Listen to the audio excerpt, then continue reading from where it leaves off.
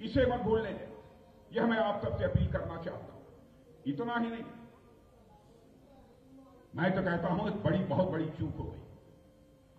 ननकाना साहब, गुरु नानक देव जी का जन्म स्थान वह पाकिस्तान में और शरीर छोड़ने का स्थान करतारपुर साहब, यह भी पाकिस्तान और करतारपुर साहब तो केवल चार पाँच किलोमीटर की दूरी पर।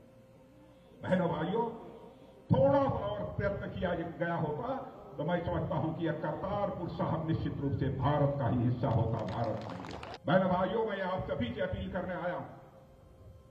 आप सभी भाई भाई हैं, बहुत सारी ताकतें, सिख समाज और हम लोगों में एक खाई पैदा करने की कोशिश कर रही है, तोड़ने की कोशिश कर रही हमारे रिश्ते को चाहे हमें कितना भी बड़ा बलिदान क्यों न देना पड़े, हम इस रिश्ते को किसी भी सूरत में टूटने नहीं देंगे, यह हमारा संकल्प